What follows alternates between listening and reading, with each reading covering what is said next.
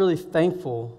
Um, first of all, when I was hanging out with some of you, I really feel like um, that same spirit of love for Jesus, it reminds me when I was actually here on campus. And I just really, I'm really thankful for that. Just, you know, just the things and the sharing. And a lot of you have shared quotes with me and things you learn. You're like, praise the Lord. That just really warmed my heart. And uh, thankful for being in the boys' dorm. The, the prayer has just really been reminding me and, and also talking to the girls. And it's just really been a blessing. I thank, I thank the Lord for this guy. I remember when he was a freshman and just to see the Lord working in his life, I was like, wow, just praise God. You know, there's just so many things I'm thankful for. I could go on, but um, we do have a few minutes. I want to take a few minutes because um, there's a few questions that we want to take. And by the way, if you have, if we have time uh, to, to we'll, if you have any questions that you want to write down, I think there was some cards somewhere. We could pass those out. But right before we do that, I'm going to you just quickly if you can just stand up and just, uh, if you can just stretch forward, we can just do that. Stand up and stretch forward. That'll be great.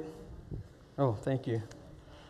All right. As soon as you're done with that, you can take a seat. And we'll, we're going to have another word of prayer just because I need the Lord's, the Lord's help in answering these questions. And then we have some cards that's going to go around. And you can write your question down. And is someone collecting those? bringing, bringing them up? All right, so we have someone will collect those for us. You can raise your hand. Who's going to be collecting that? All right. Okay, so everyone's sitting down now. Right before we start, let's go and have a word of prayer. And then we'll, we'll get into that.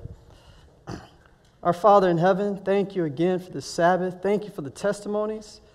And Lord, as we look at some questions that, um, spiritual questions, things that we can apply to our lives, we need your divine wisdom. Lord, I know and I trust, I know that there's, there's so many answers in this audience than I have in my head. But Lord, I know that you are a God that give us wisdom beyond our years. And so I'm claiming that. I'm claiming that you would give me that wisdom. Um, but we would really, we would really answer questions that would help us draw closer to you. We ask these gifts in Jesus' name. Amen. All right, so as they're passing those out, if you, I guess if you want a card, you can just raise your hand. They can pass one out to you, and then they'll collect that.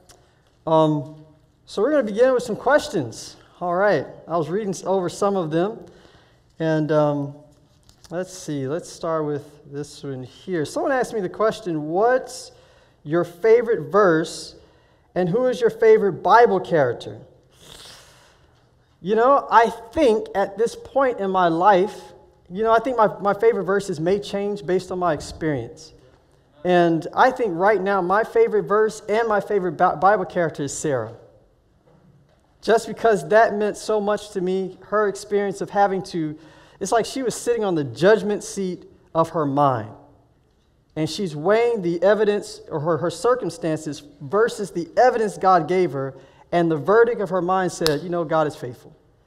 And there's so many times in my life I've had to do that uh, had to judge God faithful in spite of what my circumstances are. And even right now, my family's going through a current situation where I'm having to do that. And so, right now, that, that story just really speaks to me, and her life really speaks to me. Also, I'll just say this also, the fact that she, she had to come to the point where we, she wasn't relying on Abraham's faith. You know, she wasn't like, oh, you know what? All those blessings are for Abraham, but not for me she had to come to the point where she had to have faith for herself. Then God moved in the entire family. Didn't catch that. They both had to have faith for themselves, then God bless. And that really moved, that really moved my heart. So good question. All right. Someone asked the question, if I know my burden is my fault, how do I give my burden to God? That's a really, really good question. Someone just recently, we were talking about that back at the school at Oklahoma Academy. Someone was bringing up the same question. There's a story that comes to my mind. Um, the story of the man that was, that was uh, being let down in, from the roof. You know, you remember that? His sickness was his fault. His sickness was his fault. And we see how Jesus actually handled that. But there's something that really, really comes to mind um, let me just say this, and I'm going to come back to that story. Something I think is really, really interesting is people when they when they get into a, a, a relationship. You know, sometimes some people um, they have a little debt, or one person may have a little debt, or two may have a little debt, uh, or both may have a little debt. Something I find is very interesting, and I'm not saying every situation they do this, but when those individuals get married, it's, not, it's no longer that's your debt, it's that's our debt. I feel the same way when we come into a relationship with Jesus. Jesus is like, listen, I know you were at fault, and I want to heal you, but also your fault. I like he it's like it's like he takes that and say, look, come with me with your fault, even though it's your fault. But when we come to God in repentance, God takes that too. God takes it, and that story of the man being let down the roof is a perfect example of how God handles it. Uh, the, you have other stories in the Bible. The, the man at the, at the pool of Bethesda, you know, it was his fault that he was in that situation. How did God treat him? How did God treat him? And um, yeah, so we can still give God that burden. Don't you can't bear that yourself. You know, why else did Jesus die? He died to take on that burden. So give it to him. You know, there's still sometimes there's consequences for, for sins, but listen, Jesus says, listen, I'll, I'll take that burden. You can't bear it. The Bible says in, in first, uh, 1 Peter chapter 5 and verse 7 says, Cast all your cares upon him, for he careth for you. And you can claim that promise. Good question. By the way, I'm not sure how we, if someone had something like this really dying, like, oh, I can help with that, or a thought, but I'm not sure if we're doing it that way or not. But um, I don't have all the answers. I don't claim to have them all. And if I don't know, I'll just tell you. That's a good question. All right, here's a good question. It's, oh, I thought this was really good. And I'm guessing we have some other questions going around. This one said If Jesus sympathized with all our weaknesses, but he was always in perfect health. How did he sympathize with our sickness? Wow, that's a really deep question. Now, I'm going to be honest with you. I don't know all of the miracle of what it means that Jesus took on our, our weaknesses. Ellen White likens this, uh, she talks about the idea of Jesus was, was able to heal sicknesses and he took on our weaknesses. I, I'll be honest, I don't know all of the details of how that happened. Oh, thank you. Wow. But one thing I, I can say is that a lot of times when we look at, um, at Jesus being weak at every point or sinful at every point, um, we get very specific. For example, we was like, you know, if I struggle with internet, how did Jesus know to struggle with internet? He didn't have internet in that day, right? No, seriously. So, that, so we, we look for like these very specific things, but what we have to look for is principle. And what can I see in the life of Jesus is that if we look at the principle of being sick, what is the struggle with being sick? Generally, you're weak. Generally, you're tired. There's things that happen, you know, it's like being sick, you just don't feel like doing certain things. Do you think Jesus experienced being weak? Do you think Jesus experienced being tired? So, in principle, Jesus knows exactly how you feel. By the way, when he went to the cross, he hadn't eaten or drink or drank anything in like how many days, how many hours? And they're beating him and all these, and now they're throwing a cross. Jesus was trying to push under the pressure of being weak.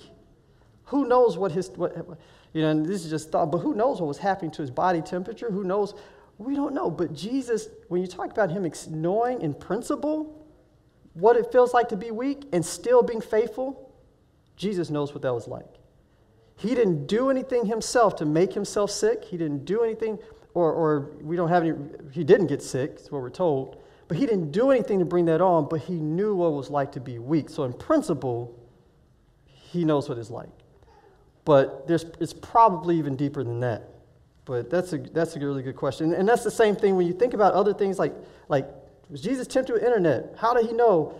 You know, he may not have been tempted with internet, but there was other, the, the principle of it he was still tempted with. And, and that's very important. Okay, already, we already answered that question. Someone else asked the question here. Oh, wow, okay. It says, Are you courting someone right now? And any tips about that stage of life, or maybe about singleness? So, by God's grace, I am courting someone right now. Uh, I believe Lord is leading in that area. And so, any tips? Okay, to be honest with you, I'm learning these tips myself. But I can tell you, probably one of the biggest ones I'm, I'm learning is, uh, well, two, is we constantly try to remind one another to make sure our first love and devotion is for God. First love and devotion is for God. And secondly, communication. And I think that's something that when people share with me, it's like that's, that's a reoccurring thing. You know, communication, communication. Uh, so learning that, learning how we communicate, um, is something that's very important. Now, I can tell you a lot about singleness. I think one of the blessings the Lord put in my life is that He let me be single for a long time. And so I know how to sympathize, empathize, whatever the, your question is. Um, these are some of the things that, that I had to really realize. For those who are struggling with singleness, um, one of the biggest things I realized, all right, I'm just going to be honest, I think one of the biggest things that people struggle with is support and loneliness. And even when I was single, I'll be honest, there was times I struggled with support and loneliness. Um, the Bible actually tells us in, in, in, let's go in the Bibles to Genesis, well, you may, may or may not have your Bible, go with me to Genesis chapter 3, I believe, maybe chapter 2. Let's go to Genesis chapter 2. And this, we, we know this, this passage. Genesis chapter 2, and let's look at verse, uh, let's see here. Verse 18, we're very familiar with this. It says, And the Lord God said, It is not good that man should be alone. I will make him an helpmeet for him. And of course, God placed Adam in a situation. Adam was like, whoa, you know, everyone else have someone. God put him to sleep. You know the whole story. But when I read that passage, I remember, and oftentimes I heard it, people always apply that to marriage. Well, the truth of the matter is, there are social needs that human beings, beings need. And one of the things I had to realize is that God, if you're not bringing someone in my life, I'm not going to go out and be like, okay, God, it's not good that man should be alone, so let me just go and find somebody and just, you know, I wasn't doing that. I was like, Lord, you know every need that I have. If you know that I have social needs, then the principle here is it's not good if man should be alone. You provide for that. And he did. Um, I had many friends that end up becoming really close as brothers. I had many people that I was constantly ministering to. God put me in situations to where my social needs, I had a lot of people. Here's the beautiful thing about being single a lot of people invite you for the house. A house. They're like, look, they want to make you a part of the family, uh, generally.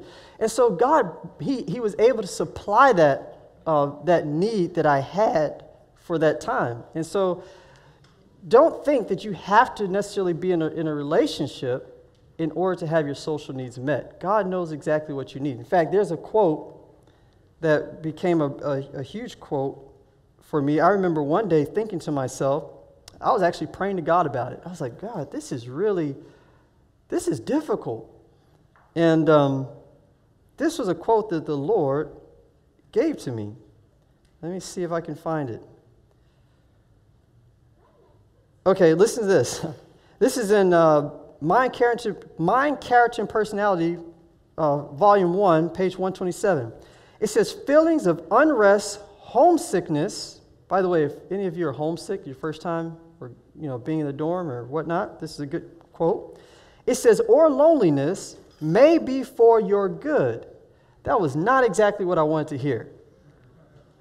She says, Your heavenly Father means to teach you to find in Him the friendship and love and consolation that will satisfy your most earnest hopes and desires.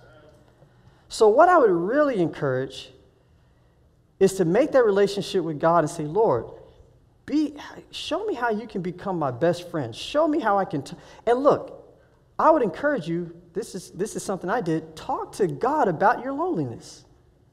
Don't be ashamed to talk to God about the fact you're lonely. He cares about what your needs are. He's personal. Amen. So I just when I feel a certain way, when I don't feel a certain way, I talk to God about it. That's that's God becomes that friend, but He also brings people in your life. Um, there was a few other things that, that I was I wanted to share on that that really helped.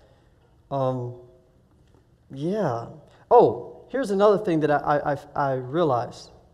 I realized that even when I, even when I was single, I, I got a chance to know a lot of Christian families, and I was able to talk to good mentors about um, just different things that I was, I was going through. I was able to have good Christian mentors that I could talk to. That was very helpful for me. And so when I was in a relationship, I had already built up this relationship with, with good, godly mentors. And how do you find a godly mentor, by the way? Let me tell you the secret of finding a godly mentor, at least the one I found. The purpose of a godly mentor is to help direct you back to godly counsel.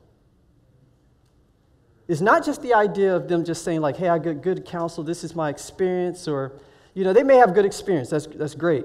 Um, that's, that's, that's like wonderful. They may have nice books you can read, you know, from latest studies. That's, that's great. But the biggest thing I look for is is this godly counselor a Bible student themselves or can help direct me back to Bible promises, Bible principles? When I find a counselor like that, because that's what I'm looking for mainly, I'm looking for, okay, what does the Bible have to say about this? But there may be things I've missed. And so I'm talking to a godly counselor, they're like, look, you know what? The principle in the Word of God is this. You should, and that helps me. That's what I think is the real key to finding a godly counselor. That's something that's really blessing me. Oh, wow, okay. How much time do we have? We may want to stop you a little bit before supper, is what I'm guessing, right? All right, let me, let me, uh, I don't know what order these are in. Okay, okay. All right, someone put down here thoughts on the Apocrypha. It's been a long time since I studied thoughts on the Apocrypha. So I'm, I'm going to defer, uh, defer this question to someone else who may have more understanding on it.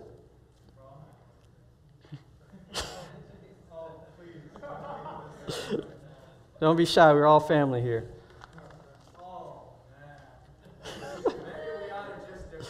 all right, we'll defer. We'll hold it. We'll put it to the side. All right. Let me see if I can read this one. It says, "What would be one thing that you would that you would say to a young person who is battling with selfishness and pride?" Hmm.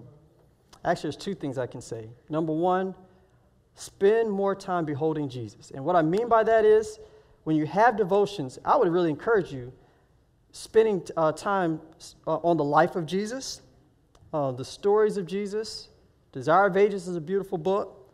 And don't just have your devotions and then be done, but throughout your, like, whatever you learn, just take one point and think about that throughout the day. That's the one thing because you're constantly, as the more you reflect on Jesus, see, the problem oftentimes is that we have devotions and then we stop. Well, how many hours do we, are we normally, like, during our day? How, much, how many hours we have? Like, tw- well, it's a little bit more than 12 generally.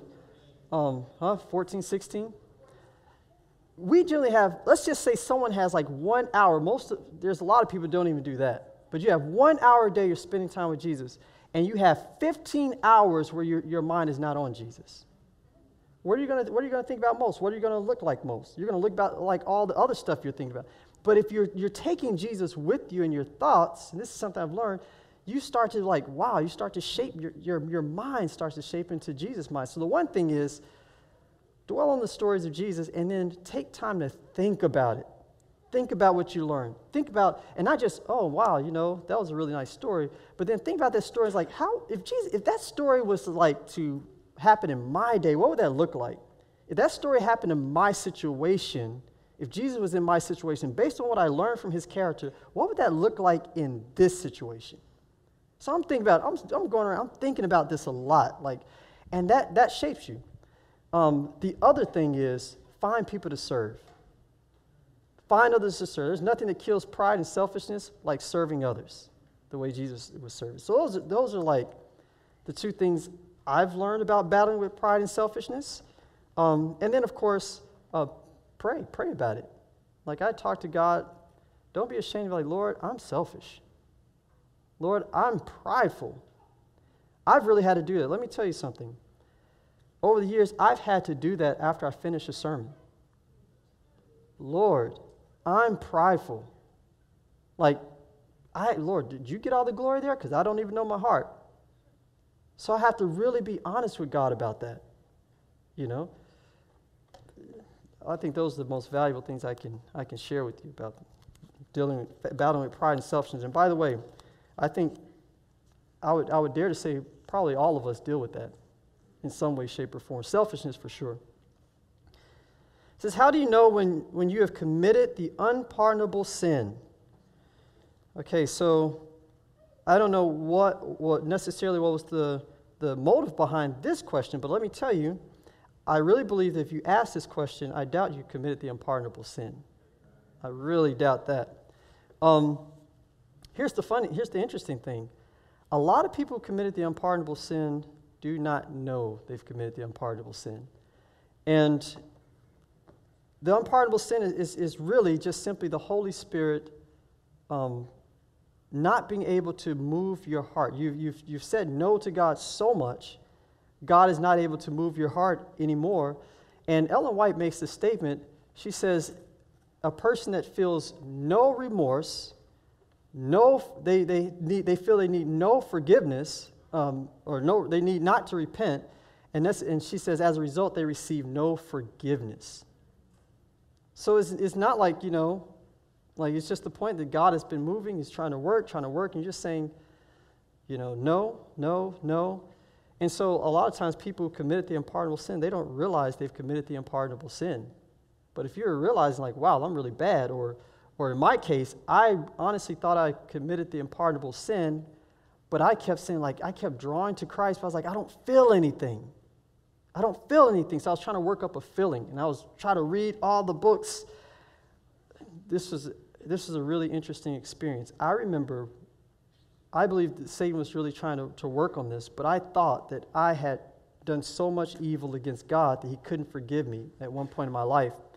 And I remember opening books, and I would open up the Desire of Ages, and it would turn to the story of Judas. I'm like, oh. and then I open up another book, it would turn to the story of Achan. I'm like, I was like, what in the world is going on? So I was like, maybe, surely I've, I've, done, I've done far too much wrong. But the more I started, I said, you know what? I'm going to keep reading these books. And I remember one day it touched my heart. I was crying like a baby. God had showed me myself, but I was so focused on trying to fix my own heart.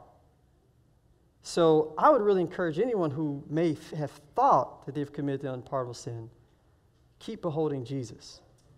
Keep beholding Jesus. Books like Steps to Christ, Desire of Ages, and um, yeah. If you're asking that question, I'm quite sure you haven't. Okay. Let's see what time we have. Okay. So the question is what is your stand in Christian contemporary music? So this is what I, I, I think I know. I'm not the music expert, but I, I think at one point all music was con- contemporary. Is that true? Okay. So I don't really look at, I know what you mean though. I know there's a certain style, but what I really look at are principles. I try to look at principles for, for music. And um, some of the principles I, am I'm, I'm thinking about uh, right away is um, I, tell, I tell individuals, I remember a young man one time when I was my first, when I was Bible working, he came to me, he was like, look, you know, what, you, what is your thought on music? And he, he, was saying, I love to debate on music. So I guess he was really into certain types of music. Um, like a rock style or whatever. And I told him, I was like, you know what? I really believe, this was what came to my mind then. I said, I really believe that music ought to prepare my, my mind to hear the Word of God. If it's distracting me from preparing my mind to hearing the Word of God, I don't need it because I need God to be constantly in tune here.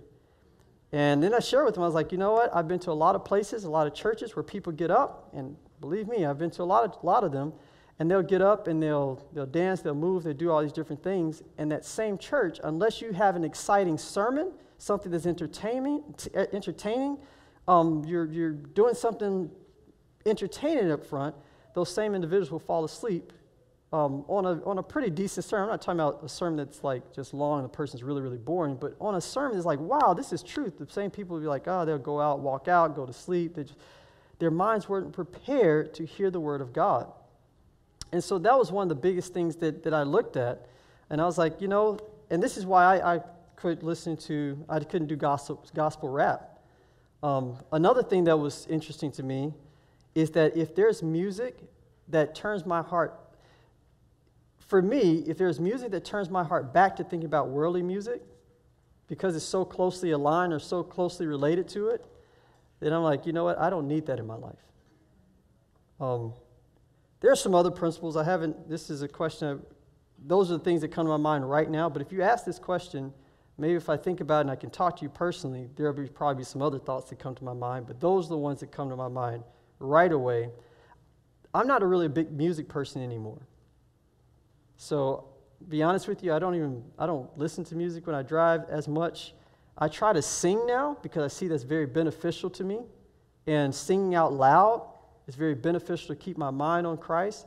But I don't generally buy music or so I don't generally deal with topics of music as much. But if I think about it and if you ask that question, I would love to talk with you personally. Maybe I'll have some more thoughts by then. All right. How do I have more faith in God? Hmm, good question. How do I have more faith in God? Oh boy. Where should I start with this one? The biggest thing is using the faith you have.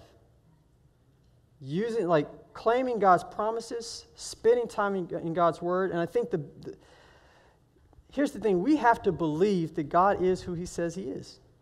We have to believe that.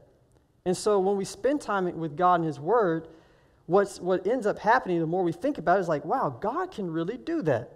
Uh, I share with you, you all the story about, uh, for example, when I was praying and there was you know, fleas in my house. Well, I had been reading about how God was doing these amazing things and had to really think like, God, are you that same God? You can really do this. And so when I was praying, I was like, Lord, if you could really pray, it's because I had filled my mind with the testimonies of the Word of God so much that when I was praying, I believed that God heard me because my faith was growing because of the things I had read. I had heard those testimonies. And then that experience gave me strength and faith enough for the next experience. And that's the thing God will give you a test that is, that is I don't know if you want to say big enough or small enough for you to handle. He knows you can handle. You have a choice and you can claim the promise of God for that test. And the neat thing is, when you pass that test by the grace of God, then now you have something in your bag to when you get to the next test. It might be bigger, but you get to the next test, you're like, look, I remember God did this. Do we have an example of the Bible when that happened? How about David? Remember, remember the story of David? Why was he able to fight Goliath? They're like, look, you're just a boy. You're just, and David says, look, I fought a lion, God, I fought a bear. God did that for me. What's this Philistine? So he was able to draw back on the experience from before, and it strengthened his faith for the present. But he also had to hold on to the, present, to the, to the power of God. And so that, that's really what I've seen personally in my life has helped me to grow in my faith, is because I listen to the testimonies of, of others, and then I had the experience that God has given me. And I'm like, Lord, you can do it then, you can do it now. So, so those are the, um, speaking of testimonies, by the way, my brother's talking about testimonies. That's why testimonies are so important. I remember when I was a kid, I used to watch the, not all the time, but like the, the OxiClean commercials. You know, remember that? Man, I got to the point, I never used OxiClean that I can know, remember, but I got to the point I thought OxiClean could clean everything because the guy was so excited about it, and then you have the testimonials. And the people are like, yeah, I did this and this, I dipped in, in OxiClean, and it worked. And everyone was, I was like, wow, OxiClean is great. Well, guess what? Jesus needs his own OxiClean testimonials. He needs people who's going to give like, this is what Jesus did for me. And people are like, wow, Jesus can actually do that? That strengthens people's faith. strengthens people's faith. All right. Okay, so how about 45? And we'll try to pick some. There's a few here. okay.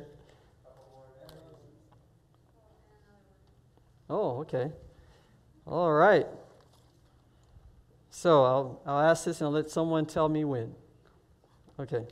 says, How do you treat someone kindly when they aren't trying to do the same? And how do you remain calm so they aren't offended? Whew. There's a lot that could happen. This is one of those situations. This is one of those uh, questions that, that if I were if I were trying to decide a situation, I'd probably say I probably need more information on this. Uh, just because, yeah, how to treat someone calmly. I've, I've, I've, I'm guessing that you're in a conversation, and this is a conversation you can't walk away from. I don't know. Um, they aren't trying to do the same. Ooh. I think the first thing is to pray. You can pray in your mind on this one. Um, yeah. And not so much even just, just for them, but praying for yourself. I, I know many times, and I'm the type of person, I used to like to argue. I used to like to debate, and I don't like back, I didn't like backing down to people. Lord has helped me with that. But um, my biggest prayer was, Lord, help me to listen first. Like, help me to listen to what they're saying and to keep, just be quiet and listen to what they're saying. And, and see if I'm understanding it, and if, the, if the, it's possible, and they're not really getting along, maybe I'll say, Look, I hear what you're saying. Um, maybe we can, do you think we can revisit this? You know, maybe calming down and say, Look, can you think we can revisit this? But I think the biggest thing uh, is staying calm is trying to is praying and trying to see get an understanding of why they're upset um, trying to ask the lord to help you get an understanding uh, again, there's, there's probably a lot into this situation. I've been into some situations like this. I remember being in, uh, in charge of a certain thing that was happening, and the next thing I knew, someone just the first thing they did was just blow up. They just blew straight up. And it wasn't even something that was my fault, it was something that, that was happening, a series of events, but I just happened to be the person in charge that moment. And I got all the back history of whatever happened to him and just blew up on me. And my first reaction was to be upset and I was like, Lord, what? I had to pray. And the next thing, I was like, okay, I understand you're upset. Let's sit down. Let me hear what you're saying. Because as a, at, at this point, I really don't understand. And I just heard him out. I heard him out. And I was like, okay, so based on this, and I repeated to make sure he understood, I understood what he was saying. And I was like, look, let me go see what I can do. I'm pray and figure out what these issues are you know. So that was just how I treated that situation to try to calm it down, but I had to really, really pray myself. So I don't know. That's a, uh, uh, there's different situations there. Okay. Okay. Why do I still struggle with the sin that with my whole heart I don't want? And I've given full permission for God to take away. I've been asking for a very long time, and it's not going away. You know, there was a moment in my life that I struggled with the sin for a very long time, and I was asking the very same question. And I had a really good mentor of mine give me a sheet, and the sheet that he gave me was a, full of Ellen White quotes, and it was basically on the sermon that I talked about this morning. It was learning to recognize my need, but also my dependence. And I think a lot of us, um, here, if I could summarize the, the, the, the, gospel of walking with Christ, I'd probably summarize it in, in surrender and dependence. Surrender and dependence. And a lot of us, we get to the point we're like, you know, um, we're willing to, to surrender. We're willing to say, Lord, take my life, become my Savior.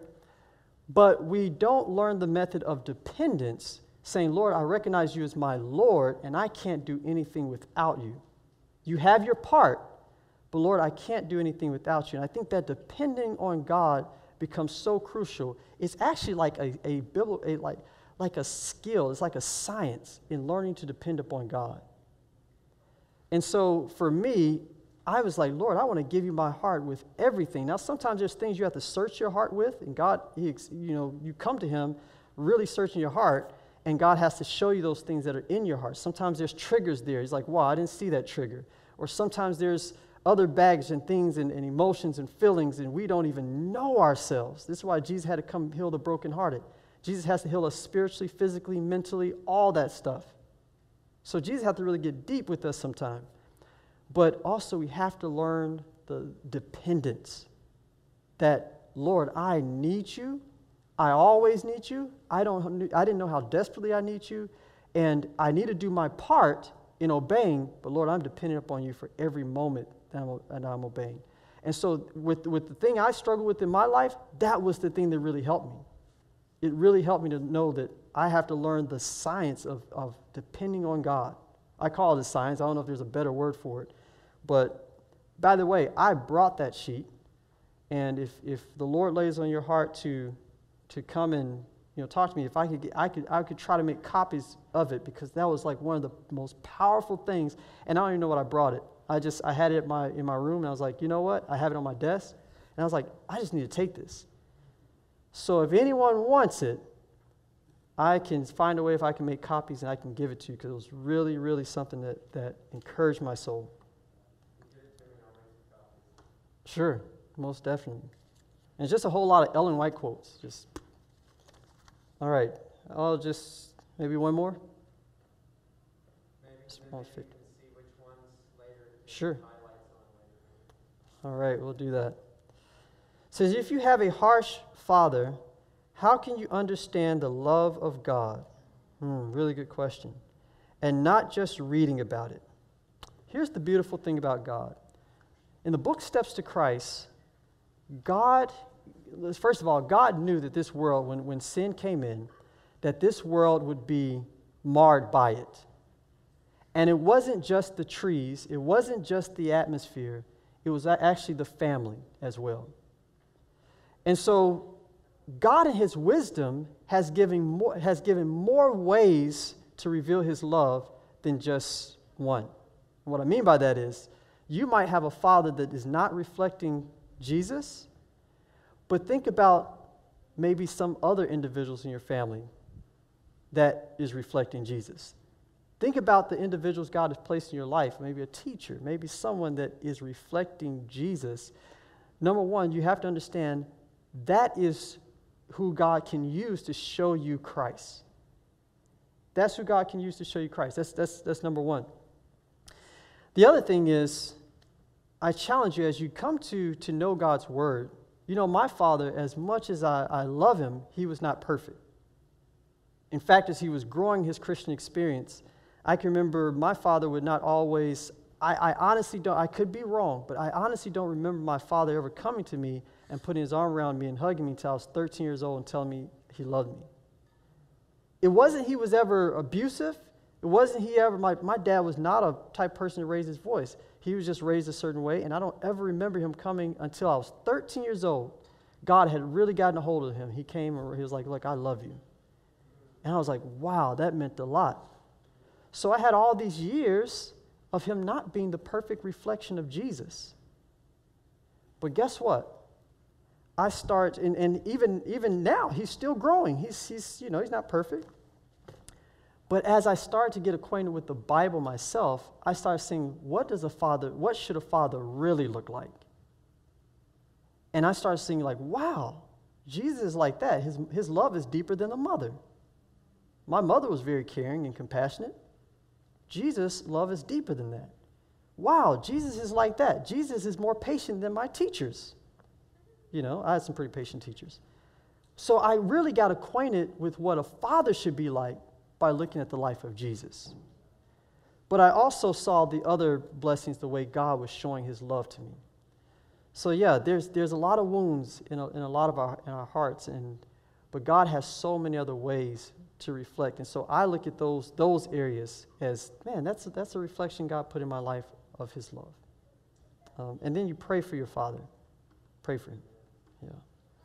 Okay, well, let's close out for this segment with the word of prayer. There's some other, I'll look over some of these other questions and hopefully we find some good ones to, to bring out. All right, let's pray. Let's kneel. In. I'm going to kneel. If you want to join me, that's okay. If you just want to bow your head, that's fine too. Our Father in heaven, Lord, I thank you so much for Jesus. I thank you for the questions my friends here were, that they have, and shows me that they have a heart to know you. And I pray, Lord, that you would, you would work personally in their lives, you would speak to their hearts.